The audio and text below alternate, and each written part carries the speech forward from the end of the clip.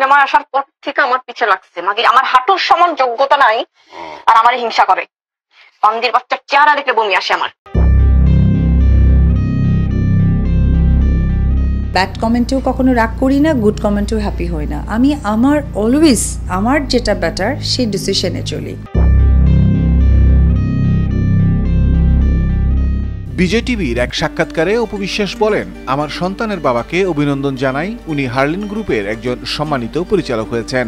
আমি সবসময় চেয়েছি সাকিব ব্যবসা করুক, কারণ ব্যবসার একটা ভবিষ্যৎ আছে। সাকিব খান ভেরি কংগ্রাচুলেশন এবং সাথে সাথে আমার সন্তানের বাবাকে শুভেচ্ছা জানাই। উনি হার্লেনের ডিরেক্টর হয়েছেন। তো এটা আসলে অত্যন্ত সুসংবাদ। আমি মনে করব আমার জয় আছেই সাথে সাথে যারা সাকিবিয়ানরা আছে, তাদের জন্য তো এটা অনেক বড় একটা পাওয়া। এবং আমি না শুরু থেকে এরকমই চাইতাম যে সাকিব না আসলে বিজনেস করুক। আমি অলওয়েজ না বিজনেসে তাকে ইন্সপায়ার করতাম।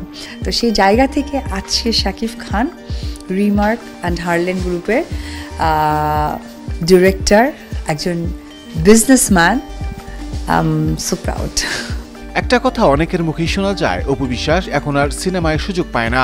কোনো প্রযোজক অপুকে নিয়ে সিনেমা করতে আগ্রহী নন। এরকম মন্তব্য আপনি কীভাবে দেখেন? জানতে চাইলে অপু বিশ্বাস বলেন। কিছু কিছু সময় মাঝে মাঝে ফেসবুকগুলোতে দেখি যে অপু বিশ্বাস একদমই কাজ করছেন না, এই করছেন এটা আসলে মুখরোচক কথা। কারণ প্রত্যেকটা মানুষের না প্ল্যানিংয়ের বাইরে কাজ করা সম্ভব নয় আর এটা করা হয়ও না।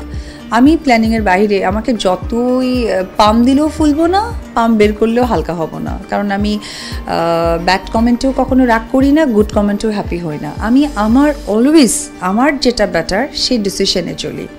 আমি চেয়েছিলাম এরকম একটা প্রতিষ্ঠান করতে এবং বছরে আমি তিনটা বাইরের ছবি করব আর একটা আমার প্রোডাকশানের করব। বাকিটা সময় আমার সন্তান এবং আমার নিজের।